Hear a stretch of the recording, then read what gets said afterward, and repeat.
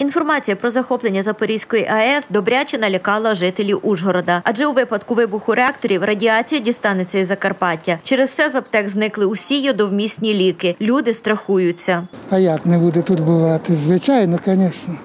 Лише думаю, до цього не дійде. До цього, думаю, не дійде. Наші хлопці зупинять їх. Звісно, боїмося, звісно, боїмося.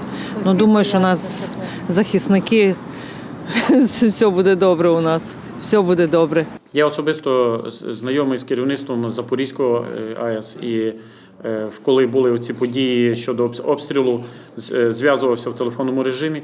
Не затронутий ні один реактор, це згорів тільки учбовий корпус. Загрози радіації на сьогоднішній день немає.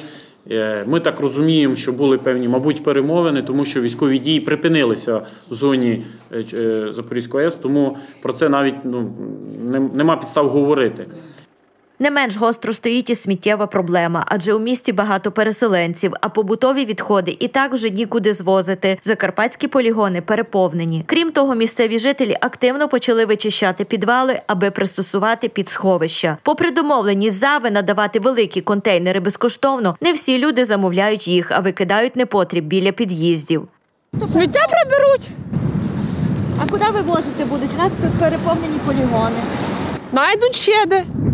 То не проблема. Закарпаття велике, помістило стільки біженців, помістить і мусор, і все, що треба. Ну, Розберуть де що треба.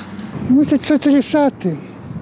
Мусять щось рішати. Не будуть возити по Україні, тому що й нема куди возити, як возити, як возили з Львова, з інших областей, бо будуть щось робити. Вивозять по 3-4 рази на день мусор.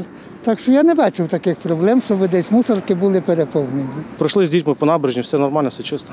Комунальні служби наразі справляються зі сміттям в Ужгороді. Проте екологічна тема та ризики, пов'язані з нею, на особистому контролі керівництва міста і краю. Вивозяться, тому це все працює у звичному режимі. Наскільки це ще раз хочу повторити, можна вважати, що це звичний режим.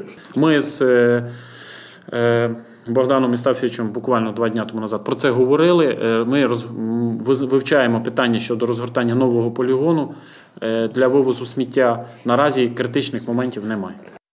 Варто додати, для відстеження порушень у сфері охорони навколишнього середовища на рівні держави сформовано оперативний штаб. Про це нам повідомив перший заступник голови Закарпатської ОВА Мирослав Білецький. Каже, мета фіксувати, впорядковувати інформацію та формувати єдиний реєстр збитків, заподіяних довкіллю внаслідок вторгнення Російської Федерації на територію України. Про результати роботи штабу обіцяв розповісти згодом.